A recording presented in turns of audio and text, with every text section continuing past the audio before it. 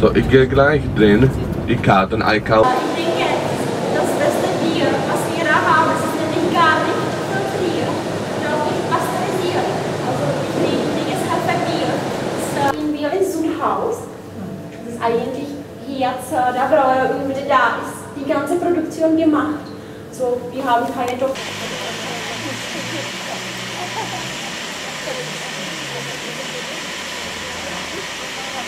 Äh, da hinten bitte, da sehen Sie die großen Tanks. Äh, dort äh, geht das Werk, es ist genannt gehopfte Wirte, das ist das ähnliche Werk, was aus dem Sudhaus geht. Gehopfte Wirte.